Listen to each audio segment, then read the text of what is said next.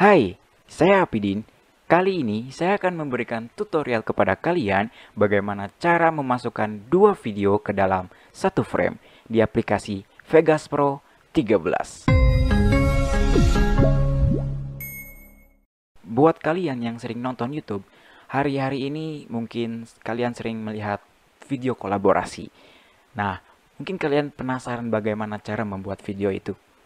Oke, langsung saja. Kalian bisa menonton video ini sampai tuntas.